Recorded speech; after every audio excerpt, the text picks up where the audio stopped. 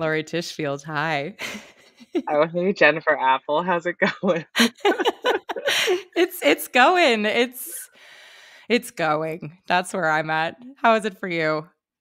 Um, it's going. It's it's busy, you know, and I'm I'm I'm I'm tired, but I'm glad we are checking in at this this chapter because tired is real life. Yeah. Yeah, we're here. We're here. How are you feeling? About the world. like oh. Just like just um, I don't know. Do you feel tired too? Oh my too? Or is this just like being in your 30s? Well, I think it's certainly that part. No one tells you that that that's that and your back is just oh wait, maybe that's a Jewish thing, but just like my back is never like I don't even know if somebody was like, "What is one thing that you could replace on your body?" Usually people would go aesthetic, and for me, it's like, "Give me a new spine." Like I just want Yeah. A new back. Um, yeah, I think I don't know. You know what I I think it is, and maybe I'm wrong because I don't necessarily know. But we are in this like quote unquote post pandemic. The world arguably feels mostly normal. COVID has somehow been quote unquote integrated more into the like, well, I might get it, well, I might not and Mhm. and we're also like still traumatized. Many of us have tried to process but most of us uh, maybe have not. And so there's this Yeah. weird post traumatic thing that's happening and then the hustle of real life has picked up because people feel like they've missed out on so much. So all of that i feel is compounding with the fact that winter does make us feel a certain way in hibernation land so we're coming into like beginnings of spring where you maybe are feel pressured to like do the Yeah. thing and bloom somehow and all of that is like wait though i'm so tired That makes sense. I'm glad that you're hitting on like the COVID trauma because I, I tell everyone it's like if you didn't come out of or come out of quarantine as like a different person, yeah then you you just doing didn't do it right. yeah You just didn't do it right.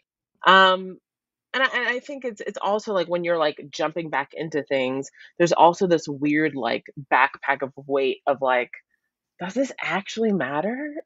yeah it's almost like, like this existential moment of just like, what is actually important in life? Because yeah we all just saw like thousands of people lose their lives mm-hmm and change careers and yeah, so I, I totally get it. It's it's it's an interesting one.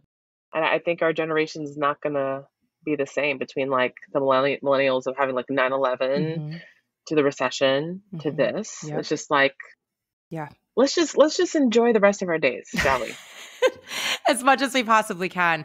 I think you're th- touching on like what what is important. That question for me is something that i I mean, I want to continue grappling with for the rest of my life because I think it'll continue making me present and also um, feeling a sense of agency in the choices that I'm making because I'm not just doing things for for the sake of it. It's like, well, is this important and how is this Yeah. important and how is this serving me? Um, which I think I want to get into with our conversation. So before we do that, for anybody who does not who know who you are, who are you today? Oh, who am I today? Hi, my name is Lori Joy Tishfield. Joy is your Um, middle I'm name? Yes, it actually is my middle Oh, name. So, you know, my parents they they set quite um a bar for me Yeah. life, which I think is pretty great. Yeah. Um, so hi, Lori Joy Tishfield. Um, I'm many things. Um, you know, I'm a daughter, I'm a sister, I'm a partner, I'm Mhm. I'm officially a Brooklynite now. Yes. Um, I'm I'm biracial. I'm Polish, Russian, Haitian, Jew. I am uh, professionally I'm an actorpreneur, which is a, a title that I kind of coined in my professional life. Um, and yeah, um, and I'm I'm a crock pot explorer at the moment, and uh, Any favorite recipes or I just made like one of those like two ingredients pulled chicken. It's like chicken and salsa, and you turn it on, and for some reason it just makes me feel so brilliant. But we're all just so basic at the end of the day. We're not unique. I love I love all of this. Um, well, first, let's just chat about how we met Yeah, years ago. Like yeah, over 10 years? Is it it's over 10 now, maybe. 10 years? yeah. I would say so. I think that these were like our first jobs coming Yes. out of college. hmm Um, so my first job, or one of my first jobs, I was a party coordinator for a company called Applause New York. Um, I was working out in Westchester and then their Upper East Side. So um, offices. So this was like Broadway themed birthday parties for, like, everywhere from, like, the Nederlander kids to Drew Barrymore's kids to Jimmy Fallon's kids, Mhm. and Jennifer Apple, um, you know, came into my life as a performer that I would staff on Yeah. many a party. So what were the characters you played? Like, didn't you play, like, a great, like, Miss Hannigan? Am I crazy? I did that once. I know the one that is, like, etched into my brain because it was really a choice was, um, like a Rapunzel, and I had to wear this Yeah. really long blonde wig, which, you know, if you've never seen what I look like, I am a dark-haired woman with a lot of dark hair, and so sticking my curly black-ish colored hair under this blonde, long Rapunzel wig was really difficult, but also, like, a choice. Like, clearly the most, um non-blonde Rapunzel that ever lived. Yeah, it was, it was, like, for our princess parties. Yeah.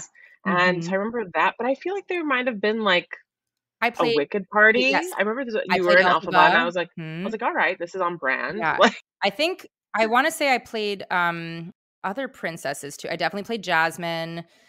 Yeah. Um, I did a lot of the princess parties. I remember those specifically, and then there were a couple Yeah. other more, like, interesting theme oh, maybe there was, like, a Mad Hatter party I might have done something. Alice in Wonderland. Yeah, that, or maybe it was that. Um Lion King, maybe. Mhm. Grease. I think I remember you on Grease or Mary Poppins. Yep. Yeah. Mhm. Yeah. It was Yeah, it was really it was it was a chapter. it was a total chapter. I was doing that simultaneously as I was selling merchandise at Broadway shows. Um, those were my Yeah. 2 first post-undergrad things. I was literally like I mean, I could have actually gone on for every single role in Peter and the Starcatcher, um, by the how many times I'd seen that show. I Um, believe it. Rent, um, Evita. Oh god. I mean, the list goes on, but wow, what a chapter. Yeah, and the thing is, I think people don't really talk about how these post-grad jobs completely shape the rest of your career. Yeah. Well, I mean, this is the perfect segue because you were coordinating these events. You were Yeah. hiring performers to Yeah. do these events, and now you have your own business that Yeah. obviously does so in a more adult professional states of things, but, I mean, that probably gave you some real tangible life experience that helped you with starting your business, which I'd love to hear more about. Sure, yeah. So, uh, to to give you kind of my origin story, so I Mhm. remember I was a party coordinator, and is there something really inspiring about, you know, watching an office full of women and a women-founded company, um, and that employed many artists, and so I've just kind of in that space. I was also just really young. I remember when I got the job, they were like, "Don't tell anyone your age." Like, you give off, like, leader vibes, but don't tell anyone your Yeah. age 'cause I was, like, the youngest person there. And so I was working out agreements, I was selling parties, I was doing wearing many a hat, I can do a really great balloon bouquet, and, I um, hope that's on your and special so skills, like, literally the bottom. Be like, "Ask me for my my dinosaur balloons." Like I think when I have kids one day, they're gonna be like, "Oh my gosh, you throw a great Annie party," and I was like, "I know."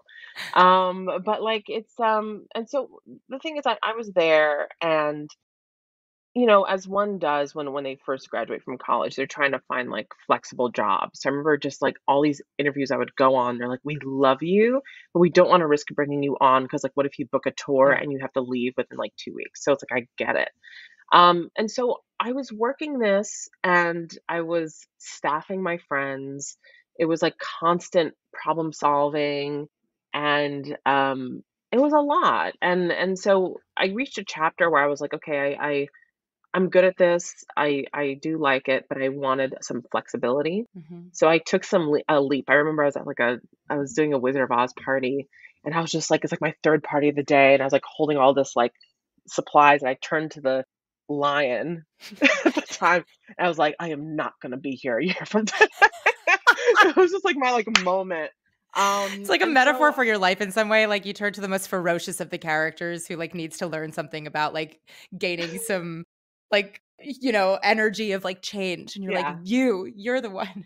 Yeah, courage, I get it. it. Um, and so, you know, I took the leap, and I started doing a bunch of brand ambassador gigs. I was really inspired by my friends who did, you know, temporary gigs. I was like, "You know what? Like, I just I just have to take the leap because I didn't graduate from one of the top conservatories to, like, blow balloons, like, I Mhm. need to kind of do it." And so and shout out BoCo, that was my my, um, school. So anyway, um, I started doing brand ambassador jobs. Uh, I think the first of which I was like, they had this big Javits Center expo called the Fancy Food Show, and I was a brand ambassador for Siggi's yogurt. Okay. Uh, so Siggi's you see like everywhere. It's like a nice Icelandic skyr, high protein, all that fun stuff. And I was just like, oh, like I really I like this. I I'm really into like I'm like that chick at a, a grocery store that I find that like with my family, I love trying new brands, new flavors, and and um, so it felt like a no-brainer because you're basically repeating a pitch over and over again. You're giving out free stuff. It's good vibes. It's good energy. You get a lot of free food in the process. So that was kind of a, a spiral that turned into a bunch of other brands being like, hey, can you represent my brand at Whole Foods? And so now I became like this like hardcore Whole Foods New York City demo girl and um, I was just giving out samples um, for another yogurt brand, go figure. And I don't know, there's something about these like side jobs that maybe you maybe it's just me, but I tend to kind of find parallels in my own acting career. Mm. So it it like at least it doesn't feel like I'm doing something completely unrelated. So for me, representing a yogurt brand was like a whole lesson in branding and I don't know. Tell me more about what you mean by that. Like what what Yeah. I remember kind of after hours of doing a brand like this, you could see in live time when it works, when someone wants to pick up a product, hmm and you could see in live time when someone's like, no. Yeah. And you can see a whole wall of yogurts, which is an incredibly competitive category of snacks. So when you're looking at an overwhelming wall of yogurt, what do you gravitate towards? You gravitate towards packaging. And the parallel to that would be like a really great headshot. Um, you gravitate towards what are your values. So, you know, if you're like a muscle person who's obsessed with like their macros and protein, you're going to find that one with the highest protein. hmm Um, and also, like, packaging is really smart. Lead with what your strengths are. So, if you see something that's like 25 grams and you just grab it that leads with high protein, it's just like it's just like how do we make it as easy as possible to book and hmm how do we make it as easy as possible to sell?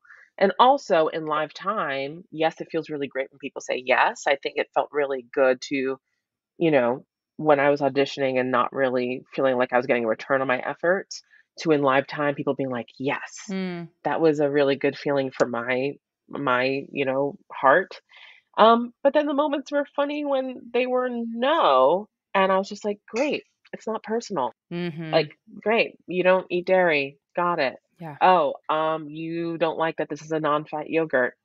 Great." Yeah. And I would kind of and, and so I think that to me kind of helped me navigate whatever this industry is for us Mm. because a lot of the time we're just like why why why why why Yeah. um rather than like ooh let's let's dance let's look at it look look at our headshots let's look at you know wh- when yeses happen why do they happen when nos happen will we ever know Right. why but also is it personal Yeah. Yeah. um, so that was kind of where I was. I was just doing a crap ton of demos. And in the process, brands were approaching me and they were just like, hey, um, I'm a vegan brand. I'm looking for someone. I was working full time at the time and I had a friend who's coming off of tour who's vegan. And then next thing you know, my staffing brain was like, I can connect you to. And I started to see other demo agencies on the sales floor and I was like, wow, like I can, like, I know people who can do that better. Mm. And so I I remember like I'm I was working in an event um and it was a like a dear mentor of mine and he was like, "Hey, like, you know, this could potentially be a business and I I like I'd love to just kind of guide you through it." And I remember just being like 24, 25 and kind of moving faster than my fears in a way. hmm I was like, I don't I don't know what I'm doing, but I will I will file this S corp at the time. I will set up my business bank account. I will just like it just it was just like an utmost mayhem. And I I remember I was like still working demos and then at night I would like be in my bed on like Squarespace making a website. Yeah. Um and and even so, I think it was a year after I worked the fancy food show, I was uh, walking it as a business and I always tell everyone it almost feels like you're like this stage of like you're like a being like a pathological liar where you're like, here are my services Yeah. and like you have no idea that I have no clients or anything. And so now people are doing follow-ups and I just created my own pricing and Amazing. Well, it's a fake it till you I'm make just it. It's like a total fake it till you make it, which, you know, is literally life. So, Yeah, exactly. And it's it's just kind of amazing how much of a leg up that actors have in in being a business owner because like 90% of it is just pitching your services. mhm, And 90% of it is people being like, I was approached by so many other agencies, but I really remembered you. mhm. Um, so I don't know. So that was it. Next thing you know, I had my first clients and and I was, you know, I was working some of them, but also I was staffing it and I saw it as a way to, you know, make money residually while I would be in a rehearsal room or auditions. Mhm. And um and I wanted to help my friends because go figure like my friends that I went to school with, I thought were honestly some of the most talented people I've ever come across. And to see them post college be like, I can't audition because I'm working like 2 different restaurant Yeah. jobs, and by the time I'm done, I don't have a voice, and I can't really afford to take this audition because I have to make my rent, and there's something just incredibly heartbreaking about it. Yeah. So, I wanted to support my my my people. So you created natural talent and what Yeah. exactly is it and how does it operate? Okay, so what it is, I've cultivated this over time, it's an experiential staffing agency. Um, so what we do is we staff um, like any experiential marketing needs, like cool pop-ups. And we also, our niche is in-store demos, a la like Whole Foods. And what we do is we staff all of those with actors. Um, and people say, why actors? And it's like, well, if we're auditioning every day, why not transfer all those Yeah. skills and improv and representation in, you know, um, in memorizing information very quickly and interacting with people, scene work, transferring all of that to brand advocation. It creates the perfect storm of like just really it's, it's just the perfect marriage. Yeah. And you've been operating it as a business for how long now? Oh man, I think it's been about six or seven years. It's like really sad. I, I have a birthday in my calendar and I never truly celebrate it. Oh, yeah, we, we that, that has to change. I'm not a big birthday fan, but this is a big this is a baby. I know. You know what it is? I think it's an uh, incredibly vulnerable thing to start businesses as actors. I remember when I started and I had so many people who were like, oh, like if you put like 10% amount of the energy that you're putting into your business back into your performance career, like where would you be? Mm, Um, and so I felt very alone in it. Um, I felt like there was a part of me that's like, ooh, am I giving up? Because mhm. I don't know anyone who does this.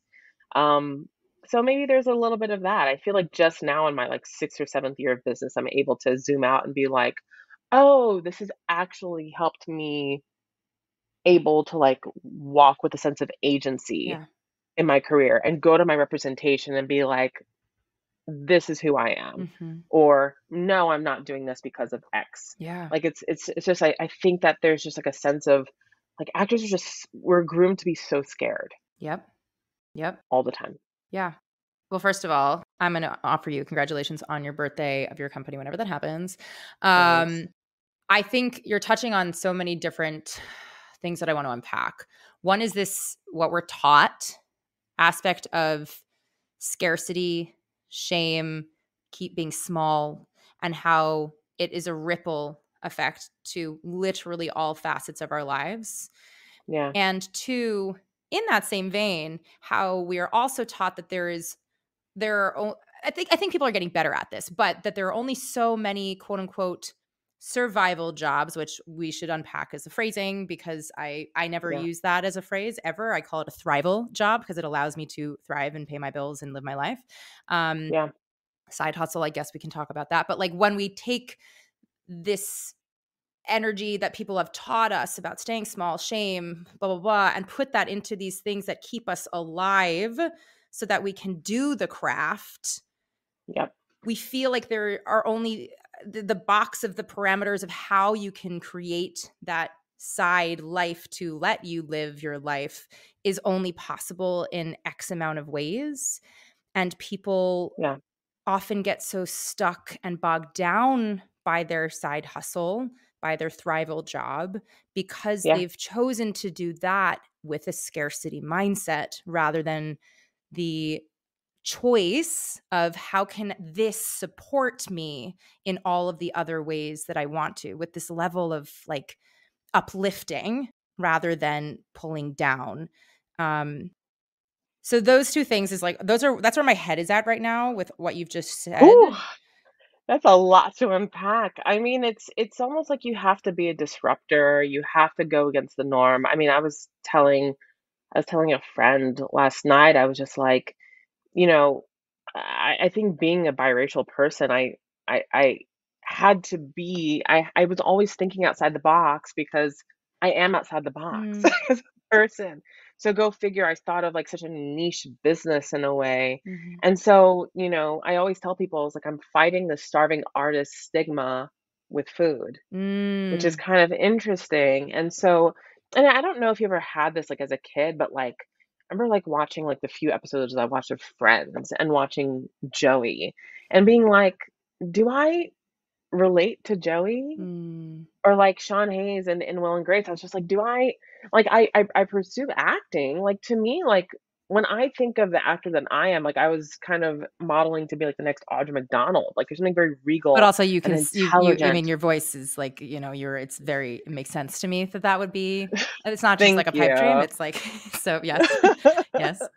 But thanks. It's just like it's just um, you know, it's I, I think that media portrays actors to be like like gypsies, Mhm. to be n- not very bright. Mhm. Um, but then like you're watching major medical shows and you're seeing people who are like fully developed humans. Mhm. It just like it just doesn't make sense that like we are we are living such a scarcity mindset.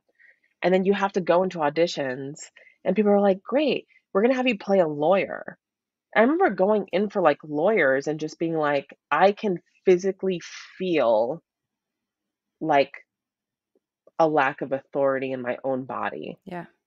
Yeah. So how can I how what am I drawing from to actually play something that I actually want to play? Yeah. Does that make sense? Very much so. Very much so. I mean, it's a huge reason why I went and got my MFA, honestly. If I'm being totally transparent about it. I was I was working consistently, pretty consistently. All I was making most of my living as an actor in musical theater, mostly Yeah. regionally.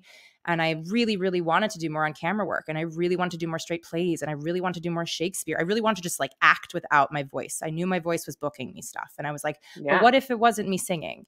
Because I'm getting joy out of the acting stuff. It feels challenging, it feels newer, it feels harder. And I was so pigeonholed in the musical theater world. Very gratefully, I was like, you know, getting opportunities. But I remember talking to a mentor of mine at the time, and she was like, you know, you're in between types. I was like, whatever that even means. Um, you know, you're probably going to work when you're older because you hold a lot of presence and because you're You're really mature. mature. I'm like, okay, whatever that means. We all have like this again, that's a whole other thing we could unpack. Um and I sat with that, but then I really sat with the fact that I and this the revelation of this happened actually while I was in grad school. But I would often apol I would say I'm an actor with a, a- an air of apology. People would be like, "Well, what do you do?" And Yeah. be like, "I'm an actor."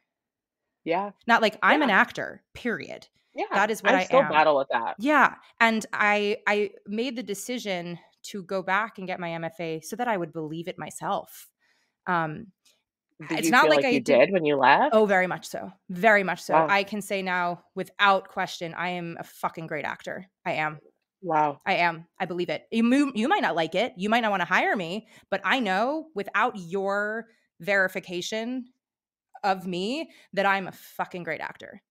I am. Yeah. and That's that doesn't real. thank you and it doesn't and it doesn't take away from somebody else being a great actor i think i struggled with the idea of like well me even saying it like that makes me sound like egotistical or narcissistic and it's like no I, I Yeah. hope and dream and wish and pray for every other person to feel that much um, i don't know if it's confidence or It's security agency. Yeah, It's agency. agency. Exactly. And so, you know, I definitely resonate with what you're saying because I would go in for these roles before and even look, I get them now too and I'm like, "Oh god, what where does this live in me?"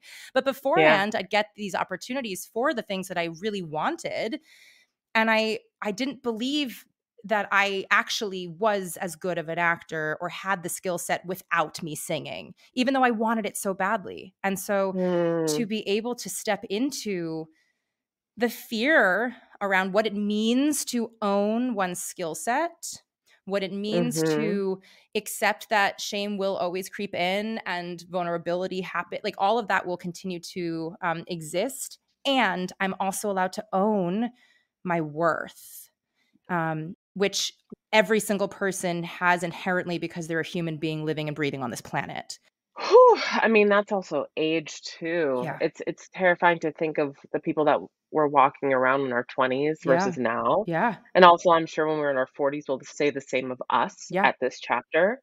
Um, and I, I don't know if you've experienced this even transferring from theater to on camera, but I remember like when I started my on camera training, because like go figure, that was my journey in in running this agency. I was like, well, you know, the majority of my feedback and who I am and what is in the catalog of musical theater and how progressive it was back then, you know, I don't think I'm going to work that much in Mm, musical theater. So I transferred more into TV and film and I found it to be more progressive. But in the process, I remember, you know, I was in a class and they're like, I was reading some sides for a cop and like, what does one do in musical theater, which is like, you know, how do you carry yourself? What is your idea of a cop? How do they act? And and on camera was like, great, let's strip that all. Who are you? correct period which That's arguably is literally acting all of like i I mean i when i coach it's like oh, I, like especially when i have like a musical theater trained person i'm like cool cool cool who are you talking to they're like oh i thought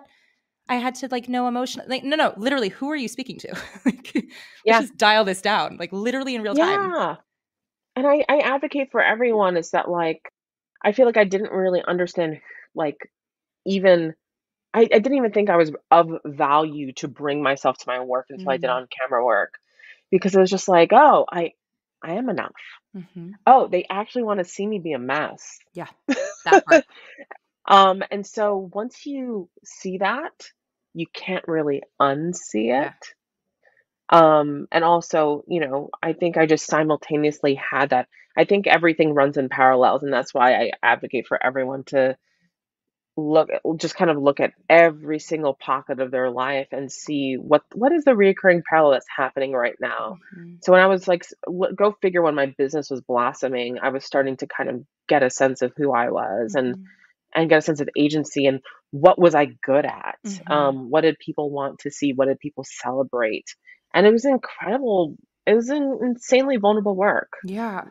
Oh my God, we're talking about so much that I love talking about. This is like my dream conversation because I think we're hitting on so many of these things that people, most of us navigate emotionally, Yeah, but also yeah. um, the balance of these things. And so I'd love to go back to how you, I guess, define your business in your life. What do I mean by that? kind of like Mm, referring back to how we had, you know, either called it like a survival job or a thrival job in my phrasing, or like mm-hmm. the side hustle. How do you feel that it exists in the the ecosystem of your life? And do yeah, you refer to it as something specific? sure.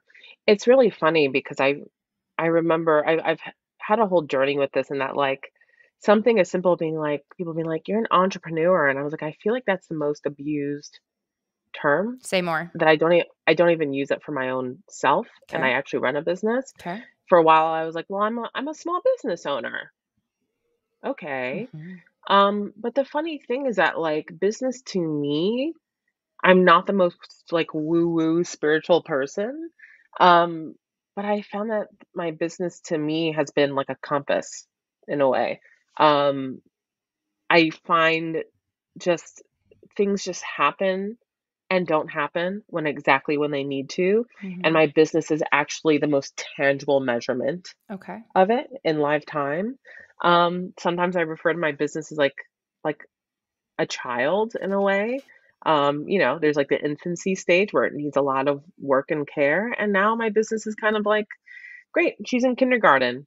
Yeah. She's six or seven. We can delegate, we can have babysitters, and I can focus on other babies that I want to build.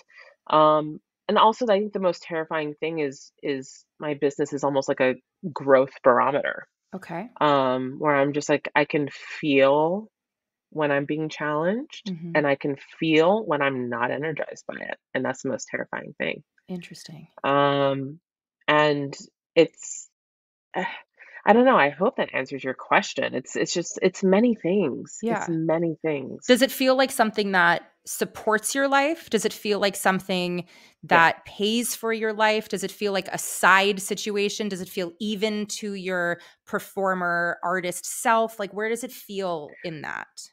Yeah. Um, I think for a while, um, I think on like on paper, it is my mainstream of income, Okay. point blank.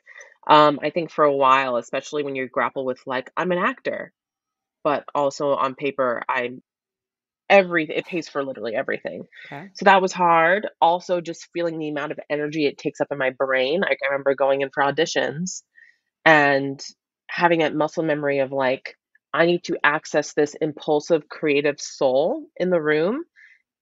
And I have a meeting right after this. Right. It's like admin, creative, switching over and over and over. Um, so that's that's like a major challenge. Um, one of my dear friends, I remember he was like one of the best best you know moments of advice that he gave was like, Lori, who are you today? Mhm. because you know sometimes I'll wake up and be like, I'm gonna be Lori, the best business owner, Mhm. and like do all my 1099s and my taxes and Mhm. all that stuff, and it'll be great. I had a self tape yesterday for a series regular. Yes, When I woke up, I'm not checking my email. I'm gonna be an amazing actor Yeah. and and prepare my sides, and I'm not even going to look at my emails because if I do, it'll just completely throw me off. Yeah. Um, and then of course, as one does, it's like, you know, you're gonna be a great daughter and and show up for your family and and be as present as possible. So it's just kind of up to you to decide who you're gonna be that day, Yeah. which is pretty empowering. That's why I ask at the top of this podcast, who are you today? That's literally why I do it because I think it is a choose your own adventure. I think it's depending on your mood, depending on life, depending on the things that are happening. Yeah. You know, we all are many things. And we've been Yeah. taught and told to diminish parts of those selves and keep other parts of those things smaller or hidden. But we are, we contain multitudes and we also contain the possibility for more multitudes. like, and so Yeah. however somebody wants to show up that day is is the truth of who they are in that moment and that can change in five minutes and that can change in six years and that can change you know in two months um It's it's also like relationships, man. Like it's it's um you know, I the thing that's most terrifying and and is I, I think my last two serious relationships were like five years long. Wow. And like it hit like the five year point and I felt like something just was off. mhm, And go figure, I had like the same thing with my business where I was just like, why is it so difficult to answer this email? Why do mhm, I feel utterly ins- uninspired? mm, Um, and it's okay to like, it's okay. yeah like, yeah I think people have that with their acting careers too. Like, have you had that chapter too where you're just like, ooh, I'm not, I'm not energized right now. yeah that's like i've been riding that wave for a while she says yeah um i get that very deeply how do you re-energize yourself and find that inspiration when it's not happening arguably even more so in a business that you run that employs other people as in there are other people who are depending on you that you have relationships with partners and brands and whatever that you need to get it to, how do you get yourself Yeah. inspired in that that situation Um, I mean, it's it's backstage. Um, it's it's just everything that's happening backstage, and it's it's funny because many people don't know when I have that. Um, it's um, I, I find that like something I remember I filled out a questionnaire once, and they were saying you are you are a person of service. You are energized when you are of service to mm, others.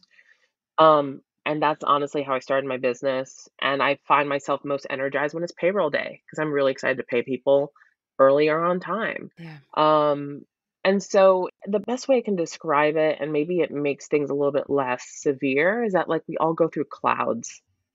Like I think I have that in my acting career now because I I'm just struggling to figure out what my why is. mm, And I tell everyone like in starting a business, like when I I I will do this plug at the end, but also presently is um the Actors Fund, also now the Entertainment Community mhm, Fund. They have an amazing um, entrepreneurship project, um, which is all like entrepreneurship programming for people who have actual businesses and people who have just an idea. And it starts from just your base, like what are your base ingredients, and that is your why. Why are you starting this business?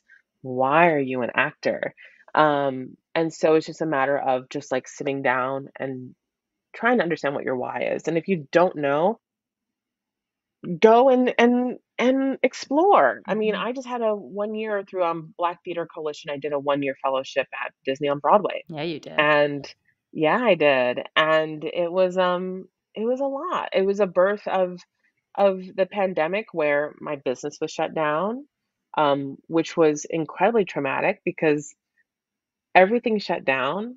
And then I had a slew of actors that were like, "Hey, my my events were canceled. Do you have any other work for me? Can I do some remote work for you?" And now I'm just like feeling responsible Mhm. for all these people. Meanwhile, like applying for all of these like emergency like, you know, pandemic loans and also figuring out my own unemployment. Mhm. And it's just like there has to reach a point where like you kind of have to like remove yourself from the responsibility Yeah. and pivot. Mhm. And so my pivot was I got my COVID compliance certification.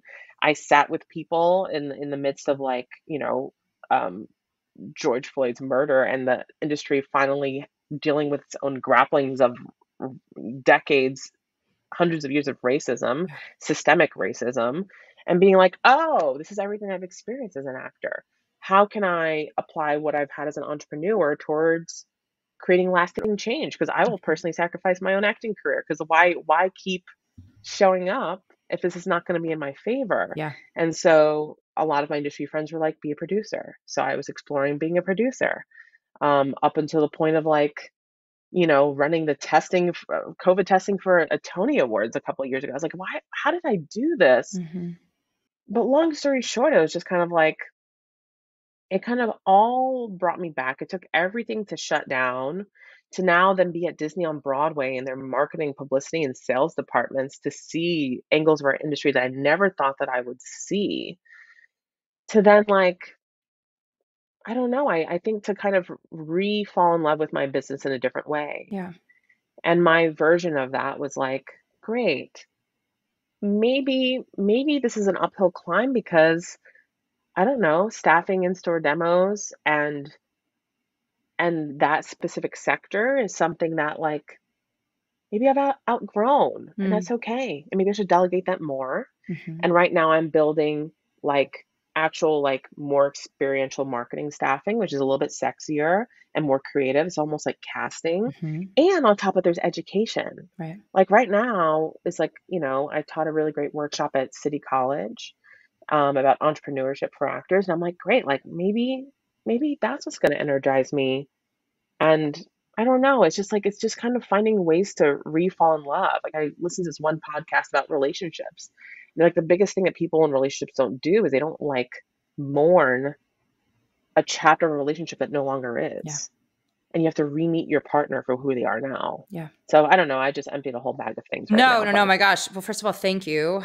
Also, um, dear listener, you can tell even all the other reasons that we didn't even start with, like why Lori is in this space, um, and all the stuff that you are doing. That's really incredible um, and trailblazing, and just so thank you for sharing.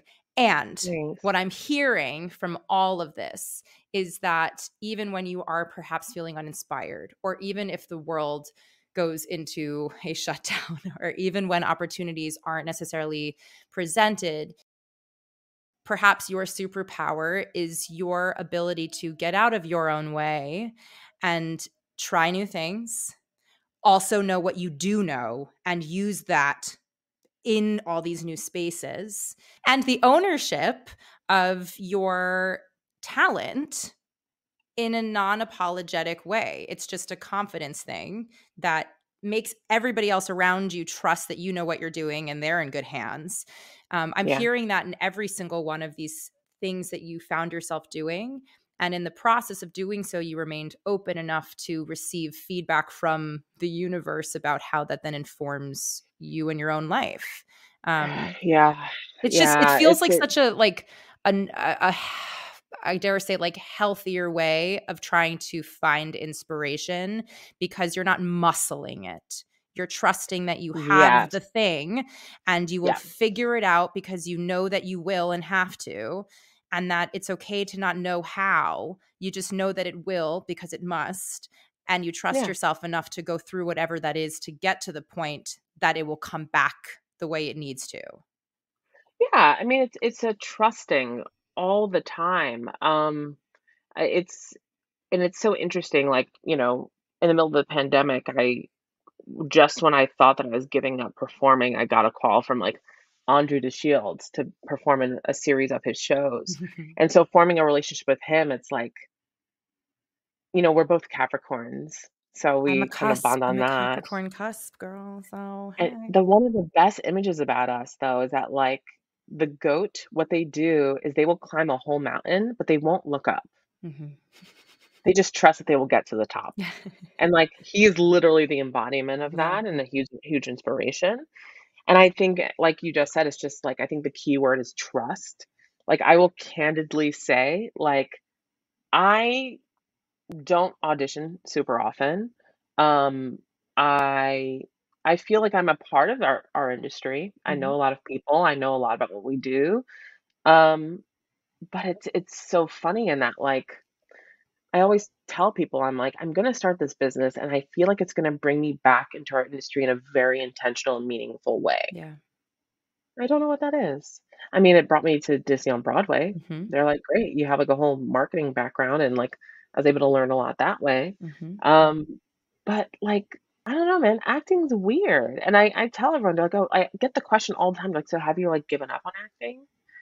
And I'm like Ugh, the insult. I mean, that it's I think of that as, like, first of all, many people don't understand what it means to have a career in acting versus the love of acting, and it's also Mm, taking away from the fact that breaks are allowed to happen, that mhm, seasons of your life also take place, and that you grow as a human being, and your yeah, relationship to acting, to the industry, to all like those things are allowed to change. And so the question is often not asked with malice. I know that. It's same same type of thing of like, "Oh, what have I seen you in?" When people who aren't in the industry like ask, it's like, "Well, I don't know what you see, so I don't know, you know, like I don't know what to tell you."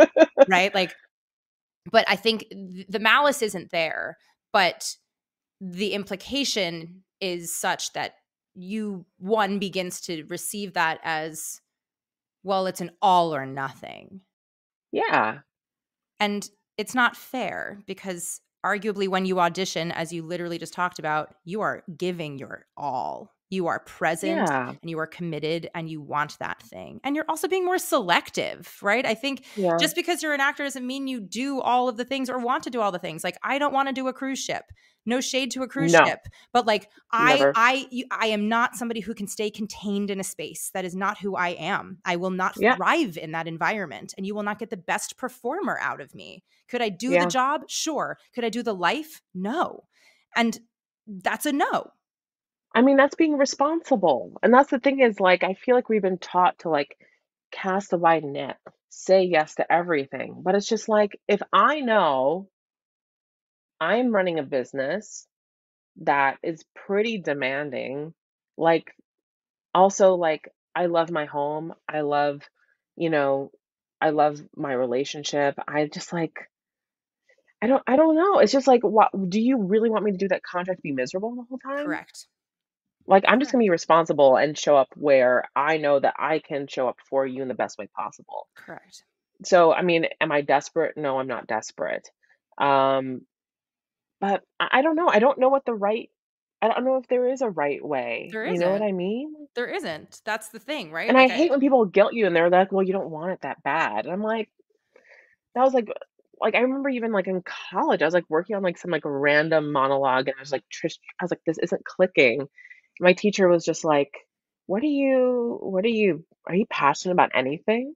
Oof, oof. And one thing that I will give myself, and maybe that's just like having my mother as my mom, Mhm. but it's like when you when you try me in that way, good like when you try to make me question who I am, Mhm. like that just does not fly. yeah Like if we're just being like, I would not be in this incredibly expensive conservatory, like away from my family and everyone I love, and devoting this amount of effort if I wasn't passionate about something. yeah hmm Well, because that's coming at your Like, dare character you? rather than coming at the craft. Those are two different things. Like if you came at me for like the craft or like, hey, are you, you know, who are you talking to and what is the environment?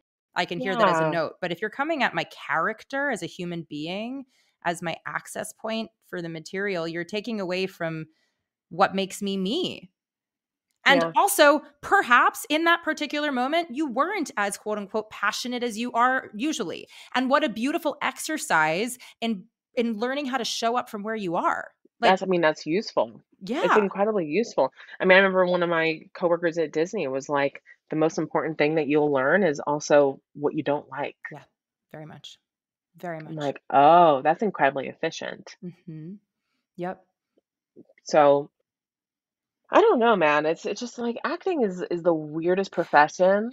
Um, but I the thing that I have learned, especially in my business, is I'm constantly excited about advocating for artists. Like Mhm.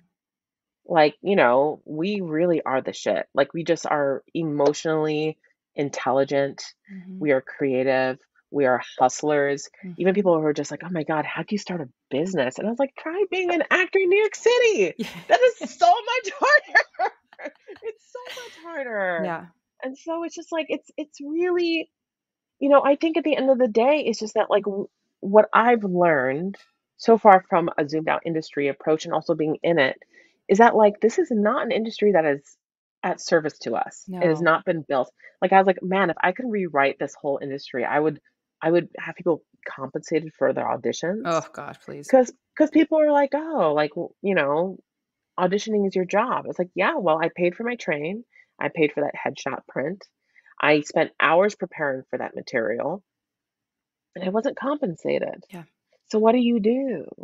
Um, I don't know. This is like, I hope this is like at all useful for people. No, I think no, we're Um, talking about the things that people think about, right? I mean, I just I guess from your entrepreneur, which I know you don't uh, or actorpreneur hat, for people who are say in a side hustle yeah. space and it is feeling touch and go or it's feeling unsustainable or it's feeling Mhm. depleting in a way that is not going to assist them in what they really want to be doing creatively what would you suggest So here, yeah, I feel like I should have led with this. So we if anyone's there still listening in on this, you know, we got we got there eventually Yeah.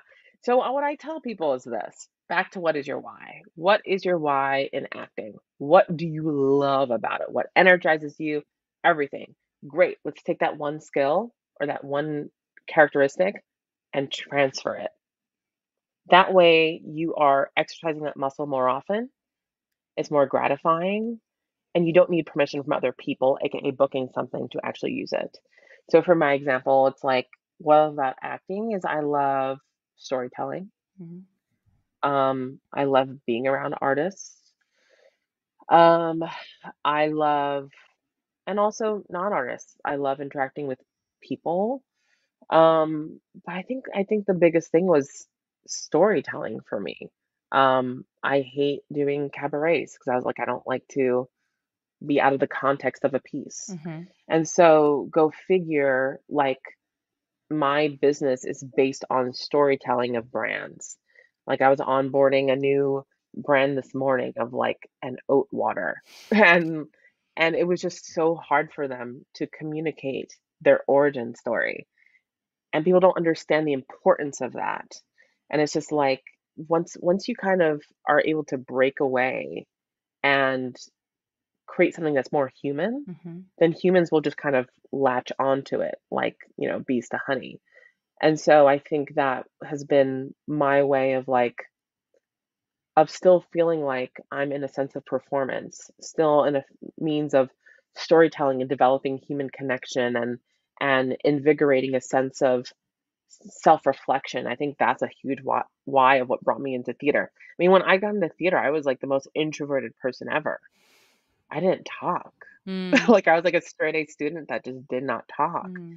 And then go figure, I was just in a space where, you know, it just like it, it forced me to grow in a way. And so I don't know. I, I think that's just that was just a why that I was able to exercise on the regular. Um, and so I don't know. Everyone has their own thing. And are you saying then if somebody finds this why, and let's say somebody is currently working in the food industry and Yeah. you're a bartender and you discover that your storytelling is we'll keep it with what you said like storytelling but the bartending as as a side hustle is draining you you are using your voice too much you're not able to show up to your auditions it's not sustainable your hours are insane is Yeah. it sitting with yourself and saying cool if my why is i love to storytell and i want to be of service in Mhm. storytelling how can i approach my bartending in a way that is more from a storyteller lens or is it let me sit with what is what are other side hustles that will garner me the same type of income that will also allow me to storytell in a way that doesn't deplete myself like what is the I mean, it's and it's also like, what is your me preferred method of storytelling? Mhm, Like, do you want to write a book and mhm, design cocktails and have these cocktails be inspired by like, um, like the works of Tennessee Williams, like something really specific like that. I always find like the most um the most success comes in niche. mhm, So, you know, or if you're just like, I know that I love to be in front of people, then maybe your business is you could be like some sort of Airbnb experience where, you know, you are creating um abridged plays and cocktail tastings throughout the entire play. Um, that is inspired by like the world of the play or the characters or certain flavor profiles that are in line with like a character. Like like this is like one of my favorite things to do is to go to someone and say, "Great, what is your why mhm. in acting? What is something that you just like love? Like what is something like I'll do this with you right now, Jennifer Oh, Apple. okay. What what is your why in acting? Like what like what got you into it? Yeah, it's I think the definition's morphing a little bit. Um, but uh initially it was it is the same thing, uh storytelling and more specifically truth and honesty. Um I I for me acting is um or a good actor or an actor that I aspire to be or the stories that I want to tell um, my access point is I am the only one through which this story can be told with this level of honesty, with this level of truth, with this perspective that only I can Mhm. give. Um, and so that for me is my access point currently with acting. Um, I love that. It's the marriage of your personal experiences with text to kind of bring it alive. Yeah. I love that. Thank I'm you. obsessed. Thank you. What are things that like completely out of acting that you people would be so shocked that you're into? I don't even know if it's shocking because I feel like I talk about it all the time, but um, nature hiking is like and mountains generally is like actually my happy place. Um, I think I'd be equally as happy living remote, literally completely remote, off the grid, um, in a mountain in the middle of nowhere with just my Mhm. dog and taking care of nature like that. I am. Um, I'm much more of an introvert than I think people realize, and I really don't mind solitude at all. Um, and I um, crave the quiet of um, the mountains and nature, and um, not interacting with people who drain me, and um, being able to hear my thoughts and being able to take myself out of um, what feels like the urgency of time. And I'm I'm a native New Yorker who loves New York, so that is um, definitely a dichotomy in my my life. Yeah. I mean, there's so many things that bubbled up as almost like, you know, that can be some sort of like monetized blog. And Mhm. the thing is like I'm also trying to like stray away from things that people have done for a really long time. Mm, Um, because again, niche, unique. Um, but I'm like thinking, I'm like, yes, it can be a blog. Yes, it can be um some sort of like guided experience. Like, yes, you're sacrificing your your solitude, but you're also like that could almost be like some sort of like hiking performance art that people in New York City can like escape New York City and and go on a hike or some sort of retreat with someone and just observe them have some sort of self-discovery. Because like that's something that's really freaky. Like there's a lot of folks like in corporate that don't even know how to access that part of their brains. Um, and also like if you wanted to shop that off the corporate people, like their budgets are insane. Um, but like I mean, and I'm also just like I'm also gonna like challenge you and pry a little bit more. Like, what is something really that you think is weird about yourself Oh my god, there's a lot that that you're into?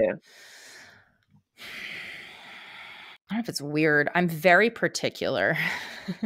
Okay. um in terms of like my brain what goes on in my brain i know what happens for many people but what goes on in my brain is it, my brain is a wild place. It is a wild beautiful playground of an anxiety ridden neurotic but creative place. And so i think when it comes to like doing the thing depending on my headspace i will do the, do the thing in a way that corresponds to how my brain is operating so if i am Mhm. stressed or if i'm overwhelmed my like space for example will be literally on par with my brain um Hmm. and so i don't know if it's like weird about me but nothing about me is out of alignment in the way in which I operate. If I am a disaster, everything's a disaster. If I am on my game, everything's on my game. Um, yeah. I am pretty consistent, which I think is scary for people because they're like, how are you? eh, Which is overwhelming when it's like, I'm riding the wave of life. But Yeah. um, the consistency of who I am across all of the things is pretty um, insane. And I don't know if people really know that because I think I present pretty together. I mean, I would say like you're not alone in ev- everything that is there. For sure. And and I'm gonna throw in another challenge into this stew of challenge here is what is something that you love to give? And I say this because in the midst of like scarcity mindset land of actors, is that we're always just like, I can do this and I really want this and I really want this. I really, really, really want this. But it's like, pause. What do you want to give? Oh God, I have a lot. Um, perspective, I think, is a big one. I want people to be able to like really have a perspective on themselves on themselves within the world and like really see it without judgment but just being able to like see things and Just really hold a mirror. Yeah, I think I I, I I think it's what makes me a brilliant coach too. Like I'm here to mirror back what you're giving me and make hmm you see that and own that and love that hopefully or just like use that if it's helpful. Um I also really um if I have resources, I want to give them. That's what this podcast is all about. It's like I don't want to I'm not a hoarder of what I know. I don't think I know anything, and the more I do know, the less I know, but I want to connect Yeah. people to the resources and people and opportunities um, that will continue making them see said perspective. like I want to be that um, connector without necessarily having to get into the weeds of like hanging out with people. And do you feel like you can relatively do that pretty quickly with anyone that you meet? Not even a question. Yes, it's an energy. So, I like read. I mean, energy. I like uh, not in a woo woo way. Like you walk in and I know yeah. exactly what I'm meeting. So here's your business. Um, Ready. and you can take it or leave it. Um, I think that you are, and I'll say the word friend because I think that is an incredibly abused word in our Mm, industry. Oh my God, my friend's in this show. It's like you're not friends, yeah. you're acquaintances. So I think you are a really great like friend in that you hold mirrors up to people and you uplift and you offer Thank you. ways for them to grow. And I think that is something that can be in tandem with some sort of like nature moment, Mm, some sort of escape from the norm. Um, and I think that there are many people out there that are craving that mhm. insanely deeply and has nothing to do with your acting. Yeah. But like, imagine how gratifying it, w- it would be if like you formed this offering and you got a call from someone that's like oh gosh like i've been i make six figures and i'm working a job that i'm miserable in and i i don't i don't feel like i have any meaningful relationships and i don't feel like i'm growing and i i want to find love and all those like blah blah blah blah blah blah blah lists. If someone called you and was like jen like can i can i just do a a one day hike with you? And like you were able to be instrumental in just someone for a day, like you holding a mirror to them and just telling them like these are things that I, as someone who just met you two hours ago, thinks is beautiful. Yeah. Think you are worthy of this. Think you of this. Like, like I'm I'm not the believer of life coaches. I don't like any of that woo-woo stuff. But like there are so many people that would pay a stupid amount of money just for a feeling of connection, Yeah. especially in this like social media age that we're in. Yeah. Um, but I don't know. I just thought of that. I love I love this offering. Thank you. I'm going to hire you off of this podcast to help me start that business. um I I this was such a wonderful unexpected journey of an episode that I I'm here for and I I mean, I'm so grateful to you for trusting me in this space to go on the journey. And we touched on some, you know, harder things and did we fix them no but i think again it's important to just acknowledge that like this is the world that we are living in and we're not and no one's alone in feeling these these feelings um and so you are such an example of um continuing to explore and cultivate and have ideas and stay open yet firm and it's just i think you are you are the type of person that i dream of collaborating with in my life. And so Mm. I'm I am so excited for all the people who do get to work with you and I hope that we get to work together that isn't me wearing a Rapunzel wig. Um and uh, for anybody who wants to work with you with your business or hire Yeah. you as a performer or reach out to you with questions or have them do a reading, which is basically what you just did, um, of them for their own business that you should now potentially put on your website as an offering. I honestly might. Yeah, I might start doing that. You honestly. might, should is I don't like the word should, but mm, yes, can highly consider. Um, how within your boundaries is the best way for people to reach out to you? Sure. Um, I would say you could just shoot me an email. I mean, number one, y'all are working looking for some great gigs, uh, brand ambassador gigs, a lot of cool events. You know, we pay well, and I tell everyone it's like, you know, I get it. If you, you know, if Hamilton's calling you, like, go and do Hamilton. I am not going to guilt anyone for for anything. But you can email me, Lori at naturaltalent.co, or you could just go straight to my website, naturaltalent.co. That's probably the easiest way to reach me. Um, I I'd be happy to like just like chat and brainstorm. And if there's anything that you want to learn more about my journey, I'm more than happy to share.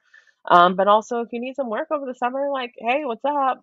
You know, I'd love to add you to my file. Yes. Um, and you know, we are not only just New York, New Jersey. You know, we I've kind of been expanding and moving faster than my fears, and Hmm. we now staff in California and Chicago and DC and Yes. Florida, and we're we're nationwide now. So yeah, say hi. I it doesn't hurt for me to just hop uh, add you to my file. Um, and also I'll give an offering too is um, look up the Entertainment Community Fund. Their creative entrepreneurship project was incredibly life changing for me. Um, if you have an existing business, you can apply to be an, a part of their next cohort. Um, but that that was I, I think they now are remote, so anyone in the country can can join. You're a dream. I adore you. Thank you for this conversation. Thank you for uh, giving me my next business that I don't have the time and capacity to start, but I really wish I did. It's a seed. It's a seed. oh no no no no! like It's it's uh, definitely a seed. Um, and uh, thank you for this, and I'm excited for what's next. Hey, I mean, thanks for reaching out and caring because I think a lot of people are, are rarely interested in what I what I do. Um, so it means a lot, and I hope that this is somewhat of use for your community and anyone out there. for sure.